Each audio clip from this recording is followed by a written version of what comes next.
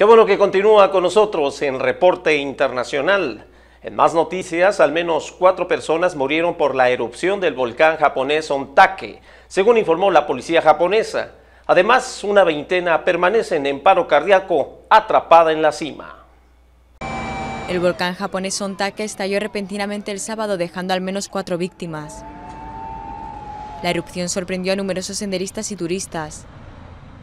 Más de una veintena de personas se encuentran en estado de paro cardíaco atrapadas en la cima, según anunció la policía este domingo.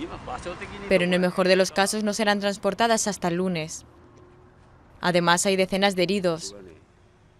En total, 550 soldados, policías y bomberos participaban en las operaciones de salvamento, que tuvieron que suspenderse por la concentración de azufre.